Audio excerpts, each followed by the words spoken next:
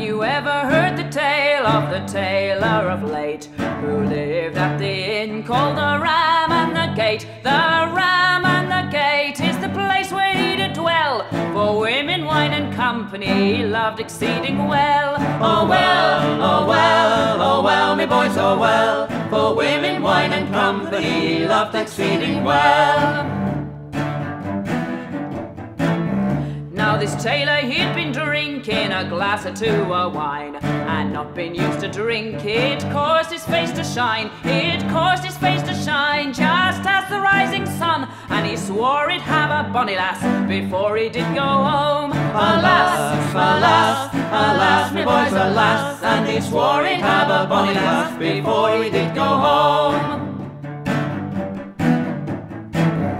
Then he called for pipe, he called for his honey. And as they both were talking, she's a fingering of his money, she's a fingering of his money. So very neat, he said, if you give to me your petticoats, I'll dance like a maid. A maid, a maid, a maid, me boys, a maid. If you give to me your petticoats, I'll dance like a maid.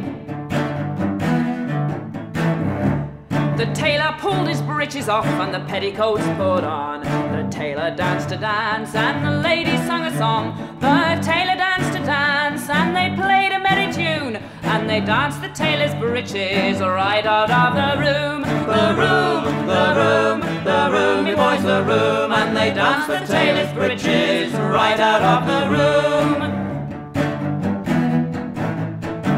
Oh, have you ever seen a poor tailor undone as I am done? Me watch and me money and me breeches are all gone, and now I am undone. I become a garden flower, and if I can get me breeches back, I'll never dance no more. No more, no more, no more, me boys, no more. And if I can get me breeches back, I'll never dance no more.